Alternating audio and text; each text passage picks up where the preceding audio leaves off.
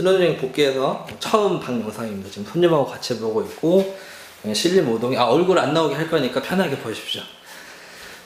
아, 신림 오동에 있는 1050 깔끔한 신축급 원룸입니다.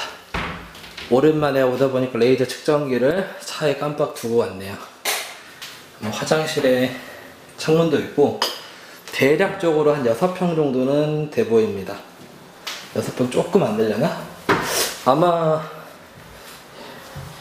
3m는 충분히 넘을 것 같아요. 양쪽 3m, 3m. 그래서 위치가 여기는 롯데백화점하고 가까운 위치라서 깔끔하고 넓으면서 1000에 50 정도면 이쪽 동네 치고는 어, 많이 괜찮은 편입니다. 옷장하고 수납장 다 빌트인이 어, 돼 있고 현재 주차 자리는 없고 그렇게 분리 분량이 아니고 오픈형이고 그렇게 보시면 될 것 같습니다. 요거 1000에 50으로 어, A급입니다. 여기까지.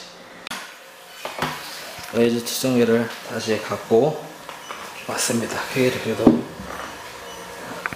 여기 에어컨에서 저 벽까지가 3m 90 나오고요. 요 창문에서 저기 벽까지가 3m 20입니다. 그래서 어, 1000에 50으로 아마 신림 5동에서는 아마 A급 될 거고요. 아마 신대방역 쪽까지 가면 1000에 50에 이 정도도 잘하면 구할 수. 그래서 위치까지 생각하면 아주 괜찮은 깔끔한 집입니다. 어, 재생 목록 누르시면 가격대별로 방 다 정렬 해놨으니까 요거 보시고 어, 시세 참고하시면 되고요. 그리고 저희가 사무실에 저랑 대표님이랑 유튜브를 각각 운영하고 있어서 어, 제 걸 보신 분은 저한테 연락을 좀 주시기 바라겠습니다. 여기까지.